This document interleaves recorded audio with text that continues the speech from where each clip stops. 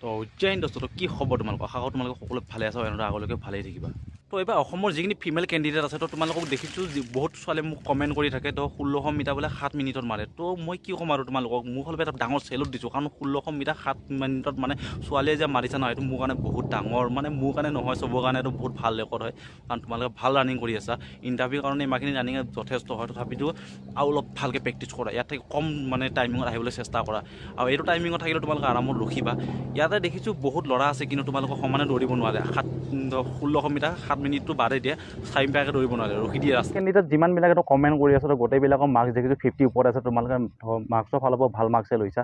তো চাকৰি হোৱা বহুতখিনিয়ে চান্স আছে। তো বাকী যিবিলাকে থাৰ্টিৰ তলত পাইছা তো তোমালোকে আগলৈ ভালকৈ চেষ্টা কৰিবা।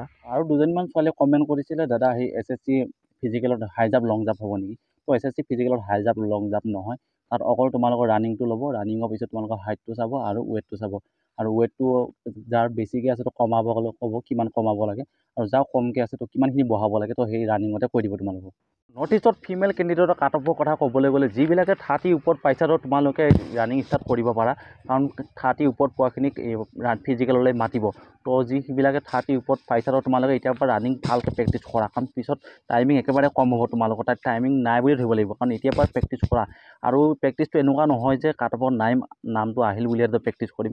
কাৰণ এছ এছ চি আকৌ ওলাব। তো এছ এছ চি বুলিয়ে নহয় তো জব ওলাই থাকে ডিফেন্সৰ তো সেইটো কাৰণে ৰানিংটো কণ্টিনিউ ৰাখি থাকা ৰানিংটো মাজতে গেপছ নিদিবা। তো থাৰ্টিৰ পৰা মই অনলি ফিমেল কেণ্ডিডেটখিনিকে কৈছোঁ যে ৰানিং ষ্টাৰ্ট কৰিবৰ কাৰণে। নহ'লে বা ল'ৰা কেইটামান আছে আকৌ ক'ব দাদা মই আঠ পাইছোঁ ৰানিং ষ্টাৰ্ট কৰোঁ নে কেইটামান আছে? ক'ব দাদা মই এক পাইছোঁ। তো সেইকাৰণে মই অকল ছোৱালীখিনিকে কৈছোঁ। তো তোমালোকে আকৌ কমেণ্ট নকৰিবা দাদা মই আৰু ফিমেল কেণ্ডিডেট এইখিনি কৈছোঁ যিখিনিয়ে মানে এছ এছ চি এক্সাম দিছা ভাল মাৰ্কছ পাইছা আৰু অলপতে মানে বিয়াত সোমালা। তো ভাবিছা আৰু নেদো এই এক্সামটোতো মাৰ্কছটোতো ভাল পাইছা ভাবিছা আৰু ফিজিকেল নেদো বুলি কেনে বাকীখিনি নকৰোঁ বুলি ভাবিছা তো তেনেকুৱা নকৰিবা ফিজিকেলটো দিয়া ফিজিকেলটো দিয়ে কেনে বাকী মেডিকেললৈ তোমালোকে অলপমান মানে বুজি পাইছা আৰু কি কৈছোঁ মই তো মেডিকেলত তোমালোকৰ যদি আৰু কিবা থাকে আৰু তো ৰিমেডিকেল দিব পিছত আকৌ এইবিলাক আঁতৰাব লাগিব সেইটো কাৰণে তো অকণমান দিন বাদ চোৱা অলপ দিন মাজতে এক বছৰমান বাদ চোৱা তাৰপিছত গোটেই ইণ্টাৰভিউটো কণ্টিনিউ কৰি দিয়া কি ঠিক তোমাৰ হৈ যায় চাকৰিটো তো হ'লে পিছলৈ গোটেই লাইফটো মানে বহুত ভালকৈ চলিব পাৰিবা আৰু।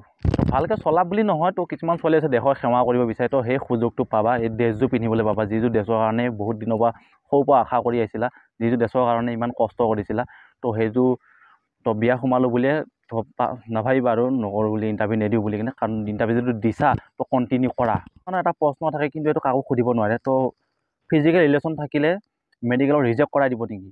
তো ফিজিকেল ৰিলেশ্যন থাকিলে মেডিকেলৰ ৰিজেক্ট কৰাই নিদিয়ে। মেডিকেলৰ ৰিজেক্ট নকৰে কেতিয়া অলপ প্ৰব্লেম হ'ব যদিহে পেটত যদি কিবা থাকে। তো মই যেতিয়া ইণ্টাৰভিউ মানে মই যেতিয়া মেডিকেল দিব গৈছিলোঁ তেজপুৰত তো এটা ছাইডে আমি ল'ৰাবিলাক লাইন খানে বহি আছিলোঁ এটা ছাইডে ছোৱালীবিলাক বহি আছিলে। তো তিনিজনী ছোৱালী কান্দি কান্দি কাৰণে ওলাই আহিছিলে মানে যেতিয়া মেডিকেল শেষ হৈছিলে। তো তেতিয়া গম পাইছিলোঁ আৰু কিহৰ কাৰণে কান্দিছিলে। তো সিহঁতক ৰিমেডিকেল দিছিলে কিহৰ কাৰণে? পেটত বাচ্ছা থকাৰ কাৰণে। তো পেটত যদি বাচ্ছা চাচ্ছা থাকে তেতিয়াহ'লে ৰিমেডিকেল দিব কিন্তু মেডিকেল ফেল কৰাই নিদিয়ে। আৰু যদি কিবা সুধিব লগা আছে মোক কমেণ্ট কৰি জনাব পাৰা। আৰু নহ'লে ডেছক্ৰিপশ্যনত ইনষ্টাগ্ৰামৰ লিংক দি আছে তাত মোক সুধিবলৈ পাৰা। বাকী অসমৰ ছোৱালীখিনিক মোৰ ফালৰ অফ লাক থাকিলে তো ভালকৈ ফিজিকেলৰ কাৰণে প্ৰেক্টিছটো কৰা। আৰু যেতিয়া ফিজিকেল পাছ কৰিবা তো মোক কমেণ্ট কৰি ক'বলৈ একদম নাপাহৰিবা দাদা আমি ফিজিকেলত পাছ কৰিলোঁ বুলি। তো তাৰপিছত মই তোমালোকৰ কাৰণে মেডিকেলৰ কাৰণে ভিডিঅ' বনাবলৈ পাৰিম। তো এতিয়ালৈ ৰাখিছোঁ ভিডিঅ'টো আৰু বেছি লাম্বা নকৰোঁ। জয় হিন্দ